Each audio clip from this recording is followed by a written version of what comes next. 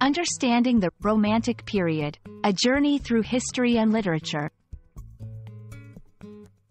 Hello everyone. In today's video, we're going to dive into the fascinating world of the Romantic period.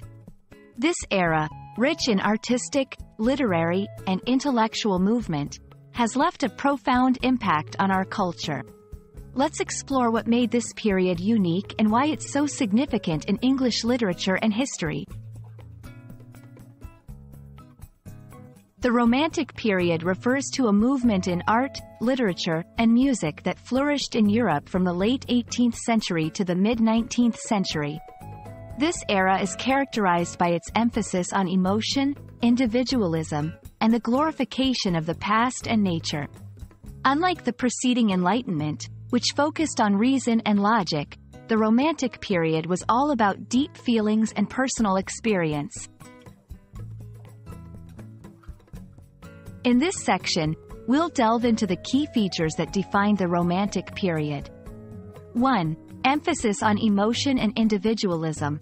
Artists and writers focused on personal feelings, leading to works that were intense and emotional. 2. Nature and the past. There was a strong interest in nature, as well as the medieval and Gothic periods, often seen as more noble and pure times. 3. Rebellion against established norms. Romanticism often involved a critique of industrialization and the modern world, favoring a simpler, more natural lifestyle. 4. Famous figures. We'll talk about notable personalities like William Wordsworth, Samuel Taylor Coleridge, and Mary Shelley, who were pivotal in shaping the Romantic ideology. The Romantic period had a lasting impact on many aspects of culture, including literature. It changed the way stories and poetry were written, focusing more on personal expression. Art and music. Romanticism influenced painting and music, leading to works that were expressive and emotive. Philosophy and politics. The ideas of individualism and personal freedom influenced political and philosophical thought.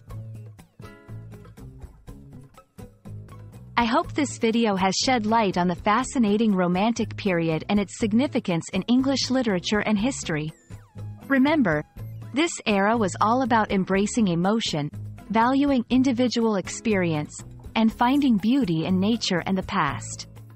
Thank you for watching, and I hope you found this informative and engaging.